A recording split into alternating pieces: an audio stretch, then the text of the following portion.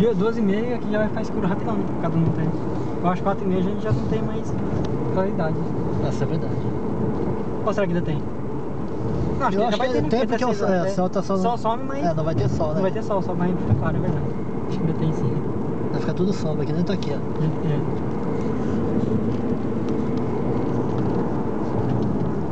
Plantação de bambu. Bambu não, não bambuzão. Que. O japonês gosta de bambu também, que simboliza, sei lá, ele- eles falam que um só cresce. É, tem um monte de significado esse bambu, né? Que ele é forte, não, fica com um monte de galho, essas coisas, não quebra e tal. Aí o japonês inventa essas filosofia, eu acho- acho que é chinês que inventa, né? É. Que é como se fosse não se apegar às coisas que vão passar, sei lá, que vai jogando fora o galho. Ele vai deixando pra sobreviver, fica ficando forte, alto. Tem que ter irmandade, que só cresce junto com o outro. Essa é verdade. Um monte de filosofia. Então é bem legal também fotografar esses bambu bem.